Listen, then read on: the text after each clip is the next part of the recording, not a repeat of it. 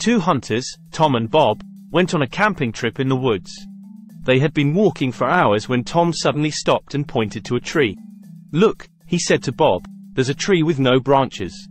I bet we could climb to the top and get a better view of the forest. Bob looked at the tree skeptically. I don't know, Tom, he said. It looks pretty tall, and what if we fall? Tom was undeterred. Come on, Bob, where's your sense of adventure? We can do this. So the two hunters began to climb the tree, using their hunting knives to dig into the bark and pull themselves up.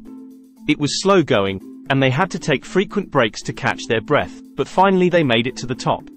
From their perch, they could see for miles around.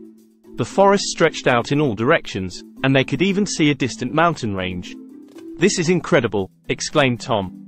We're like kings of the forest up here. But as they were admiring the view, a sudden gust of wind caught them off guard. They lost their footing and began to slide down the tree, tumbling and grabbing at branches to try to slow their fall. Finally, they landed in a heap at the bottom of the tree, battered and bruised but thankfully still alive.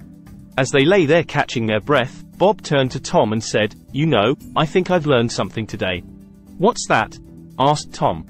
I've learned that sometimes it's better to stay on the ground and appreciate the view from a safe distance.